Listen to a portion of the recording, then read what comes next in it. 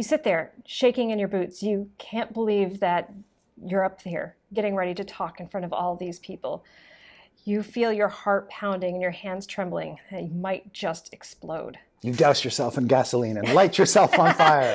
That's what happens. Welcome to Psychology at the Table. This is a special Gamehole Con episode. You see, not at my usual set because we are Yes. in Wisconsin, and I am joined by none other than Chris Perkins. Hello. Hi, thank you so much for coming and chatting. Yeah, chatting with us. absolutely.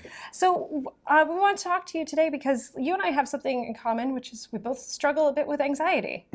Yes. Yeah, predominantly with me, it's not in like um, private social situations. It's being on stage in front of a bunch of people you don't know and performing a D&D game live. Which is something you do Yeah. very often. Right. And to, I mean, to a much, much lesser extent, streaming Yeah. online. Uh, So tell me a little bit about what your experience of anxiety is and how it manifests for you. So worst case scenario, let's let's talk about any of the live games. Um, it, I'm not anxious when we're kind of talking about the idea in concept when we're brainstorming what we're going to do and like months and months ahead planning everything. I'm totally cool with all that preparation stuff, but about two to three weeks before the show, that's when the anxiety descends upon me like a rock and tries to carry me away. And during those weeks leading up to the show, um, my work is impacted, of course, because I'm thinking about the show all the time and I'm freaking out about why did I do? Why did I agree to do this again? why am I? do- Am I? Are, are the causes for doing this more than the the detriments of putting myself out there? And I'm just going through this kind of mental maelstrom uh, for those weeks, during which my productivity goes down and um, my sleep habits change, and it culminates, if that's the word for it, in the half hour or show before the curtain rises. Right. And I've been given, you know, things I'm supposed to say, things I'm not supposed to say, things I'm I've planned to say for Yeah. the game experience, uh, keeping in mind like story beats and trying to think about, okay, this is how I think the story is going to go, but it, this is all improv, so it might go this way, it might go that way. I have no control, as it turns out, and I'm probably in a ridiculous costume.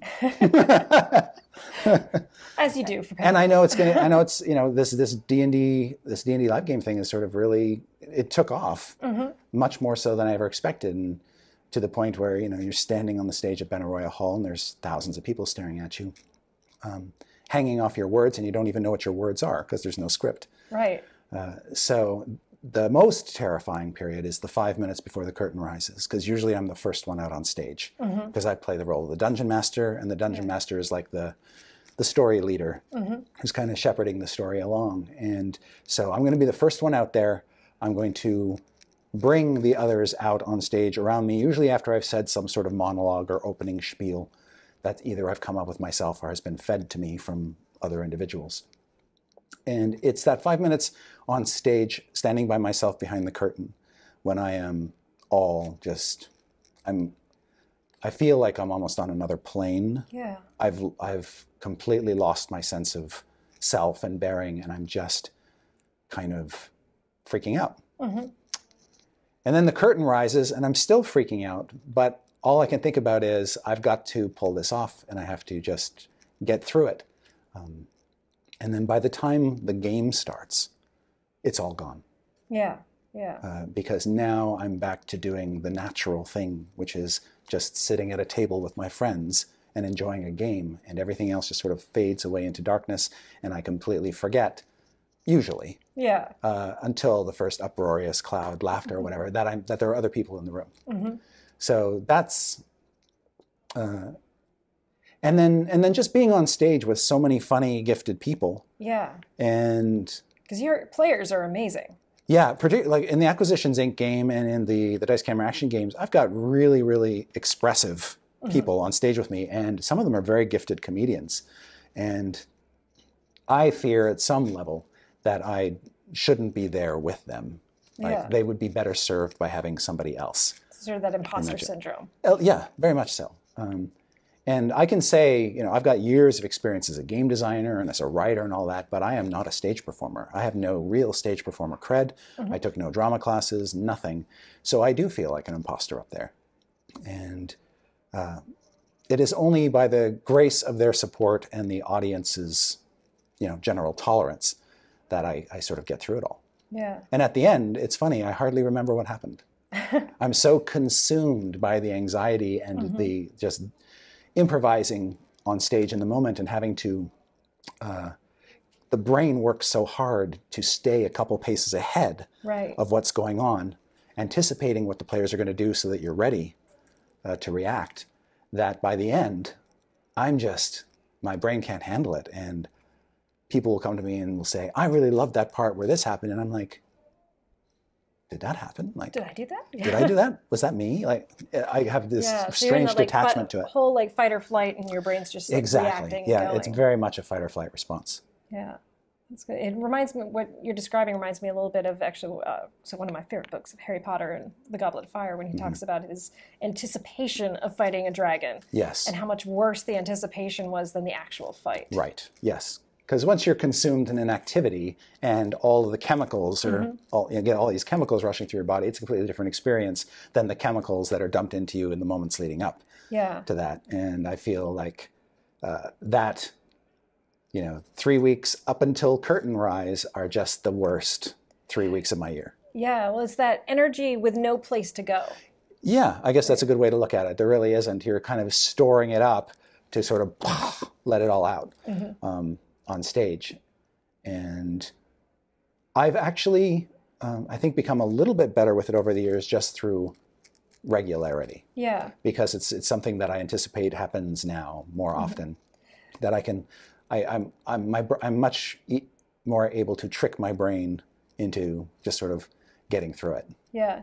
Now, do you do things where, like, when you know it's getting three weeks out to a game, going, okay, my productivity is going to go to crap, so I need to make sure I'm getting more stuff done and not taking on as many things for those three weeks. Yeah, yeah. Usually, usually it's very good for me to have one or two things to really focus my creative energies on and to be interested in them. Um, so usually, since our conventions almost always collide with our deadlines through just the way you know things work, um, and I almost always have a deadline around the same time that a show is going on. So I do have a another sort of pressure distraction Right. to help me out.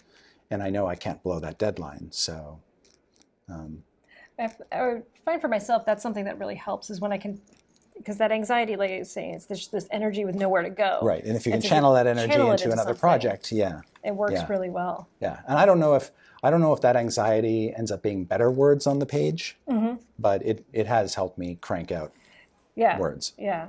I know it's one of the reasons I, I can do so much is like having a high level of Yeah. anxiety and it's just like, okay, let's throw it into this project and that project and this thing and over here. Mm-hmm. Yeah, So- yeah. Um, do you find you work better in like the mornings or the evenings as far as More for the mornings. That seems to be when my brain's quieter. Okay. And then as the day goes on, my brain gets noisier and noisier and noisier. yeah? I'm I'm pretty much the same. Yeah. Yeah. It's, it's interesting how that works. Now, for when you're live streaming, like how how does your anxiety manifest for that? Is it different or is it about the same or? It's uh it's no, it's it's much much lower. Mm-hmm. And I think part of that is there's there's the, the barrier between you're not standing out there on the stage and there's Right. nothing between you and the audience. And part of it too is I can't see the audience. I mean, if I'm if I have the chat room Mm-hmm. Right. open, I can. But generally when I'm running on a stream, I don't look at that. So it's it's really just um, me and my players. And we know that you know through the through the the, the window, people are looking in and watching Right. it happen. But it, it doesn't freak me out the same way. I think uh, part of it is too. More of the streaming is under my direct control. Mhm. There's not a whole crew backstage hanging off my every word and shining lights on me and um, standing off stage to make sure that I wrap things up on time Right. you know, uh, and all that other business. So I feel like there's less dependency Mm-hmm. on on me executing well. If I have a bad live stream game, or I'm a little tired or whatever, Yeah. I have another. It's a regular thing, so I, you know, it's just well, that one wasn't so great, but next week's will be fine. Or Yeah. you know, I can. So your brain's pretty good at not beating you up if you make a mistake. Correct. Yeah. Oh, you're lucky. Yeah. My brain loves to beat me.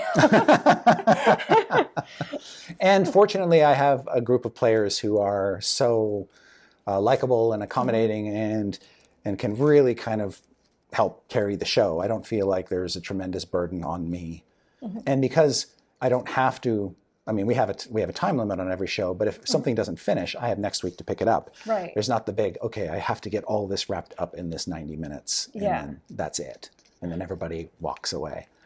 Uh, so I don't have to feel like there was the full arc of the story that played out, and there were the right number of peaks and valleys, and all the other things that are going through my heads as a narrator and a storyteller Yeah. uh, that come with a live game. And so I find I find the pressure is is much lower, uh, and um, I must admit when I first started off live streaming, I was a little bit intimidated by the technology because I had never used Twitch or Zoom or any of these devices before. I'd always had the luxury of playing with my players face to face, not players in different cities. All we're looking at cameras. I can't see their dice rolls. There's that um, the intimacy Yeah. of being in the same space is lost. And I thought that would be a tremendous barrier and would affect me as a DM. But it turns out that the technology has gotten good enough and reliable enough now that uh, my brain almost tricks me into thinking they are in the room. Yeah, yeah. Most of the games I play for fun are well, and even the, my streamed game, it's everybody's in different cities. Well, no, Mm-hmm. That's not true. My players are all in the same city at the same table. But you are elsewhere. I am elsewhere. Yes. Okay. um, but it, it is still like that nice intimate experience of yeah. people connecting. And I think as the as the technology continues to improve, it'll feel less like a barrier for a lot of people. And uh, so, getting over that initial technological fear uh, of of not being in the same room was that happened surprisingly quickly. Yeah. I think after my first three or four sessions, I'm like, oh, this is going to be fine. This Yeah. is just like So it sounds like the things that have really helped you is like one, learning your um, your pattern, right? And so understanding what your pattern is, and then working around that pattern. So because you know, obviously, like we'd love it if we could go like if this could just go away, it'd be great. But we can also sometimes understand like this is something I have to deal with and I have to work with. Yeah, I mean, nobody is forcing me. Nobody's holding me at sword point and saying you must do this. Um, but after after doing several shows, particularly with Acquisitions Inc., uh, it's it's brought a, a tremendous number of new people into the role playing game industry. It's dispelled a lot of myths Yeah. of what D and D is. It's demystified the game to the extent that DMs feel like, oh, I don't need to know all the rules and everything to play. I can just get my friends and we can just go and have fun. It's easy. I just watched it on TV. It looks it's the easiest thing in the world. Um, and I, I, the thing that gets me doing it year after year is I've had some very personal fan response from people who have much more difficult lives than I have. They may be they may have served overseas in Afghanistan or Iran, or you know they they may be dealing with family crises that I don't have to deal with because I'm a single person. I don't have children um, or dependents or anything like that. And I hear how this game, this experience, this show that I've put on has helped them. And it makes me think, okay, there's more to this than just the game. It's not just me on stage having fun with my friends.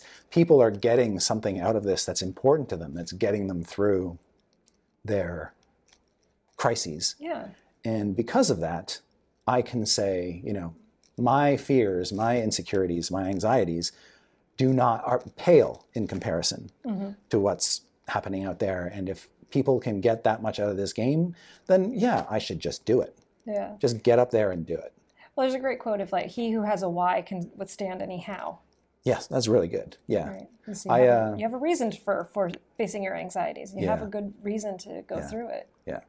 One of my one of the sort of icons in my life as a, as a person I sort of look to, and this is going to be this is going to sound really strange, but um, we all get our heroes from everywhere. Yeah. Uh, but regardless of what you thought or think of her politics, Margaret Thatcher was hugely influential on me um, as a Canadian boy growing up in a colony.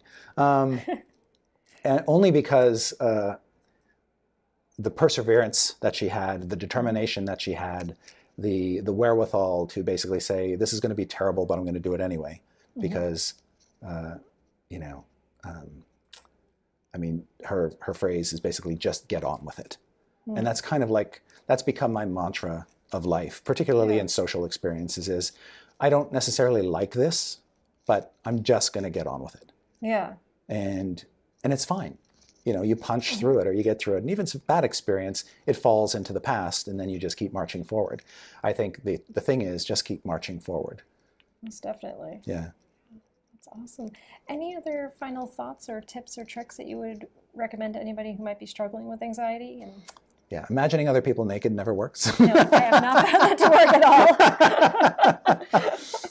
uh, I think I think that um, in the case of a in a case of a D and D experience, just trust that you know if you like the people that you're with, Mhm. they will help you. They will be there for you, and they're not going to pounce on you if you fail or if you get nervous or if you stutter or if you screw up an encounter and it doesn't play out the way you initially ran it or you're trying to interpret a monster and you just sort of run things wrong or if they run roughshod over your story. I think if you have good friends who you surround yourself with that and you and you have if you're on stage, you have just good people, competent experts backstage doing their job to the best of their ability, then I think that takes a lot of the burden off mm-hmm. you. It's not a social anxiety isn't a fight of that you have to fight alone.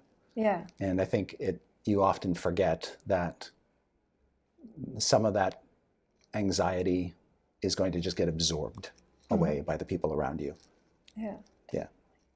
Awesome. Well, thank you so much for coming on and talking. Yeah, thanks for letting me just blab on about, No, this is great. my this, these crazy experiences that I've had that I never ever thought in a million years I'd be doing.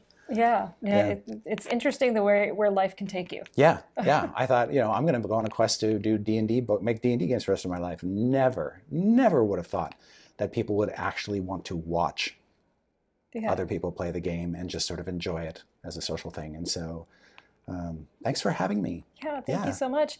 I hope this was helpful for you guys. If you have questions, please leave them below. And as always, let's make space at the table for everyone.